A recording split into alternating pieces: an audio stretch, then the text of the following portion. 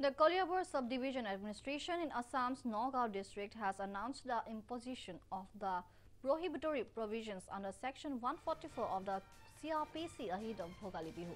And according to the information received ahead of Magh Bihu, fishing activities at the beels across Kaziranga National Park and other water bodies nearby has been prohibited and the accumulation of five or more people around water bodies in the region has been prohibited with the imposition of Section 144. The decision was taken keeping in mind the need for the conservation of natural resources and biodiversity at the Kaziranga National Park and as per the sources revealed.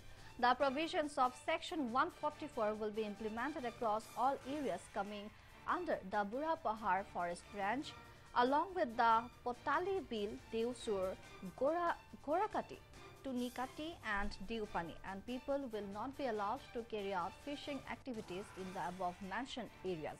The orders were issued by the office of the Koliabor Subdivisional Magistrate.